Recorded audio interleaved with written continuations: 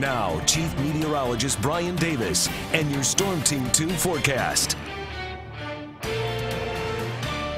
Well, it's back to winter, and it's going to stay that way for some time. We'll see mostly clear skies this evening. Temperatures coming down very quickly.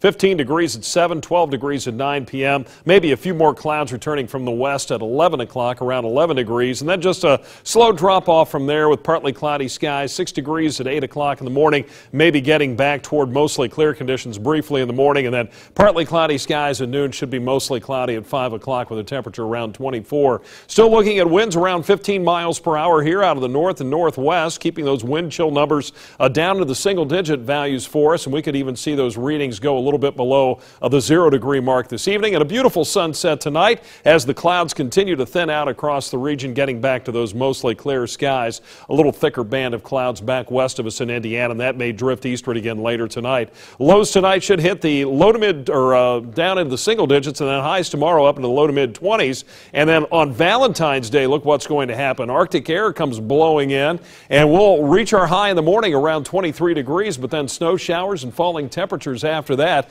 as more frigid air finds its way into the region. Tonight, we're looking at dry weather over us. There's that plume of moisture off of Lake Michigan. Snow showers down through Kokomo, Carmel, Indiana, and down to uh, Indianapolis and east of there, maybe clipping some of the western portions of Wayne County, Indiana, in our viewing area. But this band of snow will stay west of us this evening, but still expecting it to weaken and maybe a few of those clouds drifting back into the area tonight. Next system coming into the northern plain states, swing some cloud cover down our way later in the day tomorrow. We had a high today of 32, low temperatures so far 20, but we'll continue to drop off an 8 tenths of an inch of snow at Dayton International Airport. Right now, clear to partly cloudy skies, 19 degrees. That's our low for the day now. A north northwest wind at 15 with a wind chill factor at 5. And Springfield already down to 15 degrees tonight with a wind out of the northwest at 12 miles an hour, giving a wind chill factor of 2. Our weather checkers up north, Lowell, Miller, and Greenville down to 18 degrees. Don Chateau and Sidney at 17 degrees, getting into the upper teens. Scott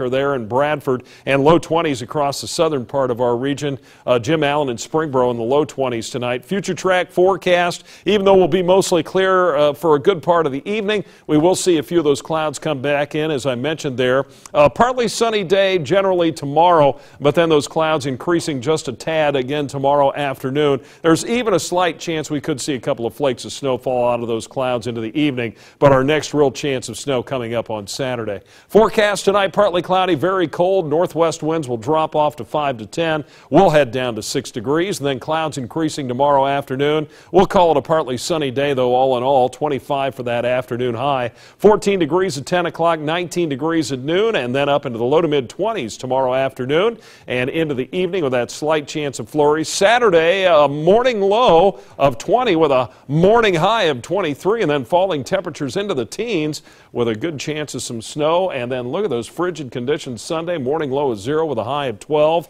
A chance again of some snow late day Monday and into Tuesday. Not much sign of any warmth there over the next seven.